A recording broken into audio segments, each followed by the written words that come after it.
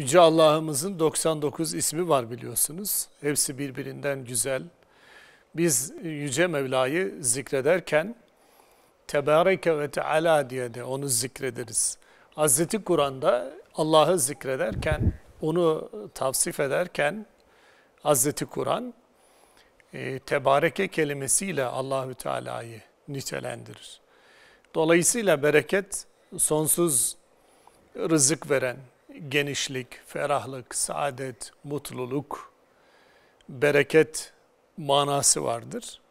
Yani maddi manada bollaşmak ve artmak kelimesinin yanında manevi anlamda da Hilal Hanım gönül huzurunu, iç dingilliğini, tok gözlülüğü vermeyi ve kamil insan olmanın vasfını nitelendirir bereket. Bu anlamda Allahü Teala'nın isimlerinden de bir tanesidir bereket.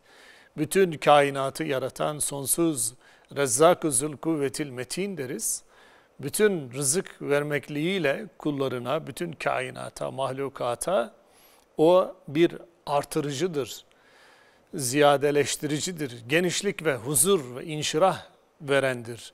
Hem kullarının kalbine manevi anlamda inşirah verir, hem de onları doyurur, besler ve bütün ölünceye kadar rızkımız, varlığımız, nefesimiz Allah'ın bereket sıfatı elindedir.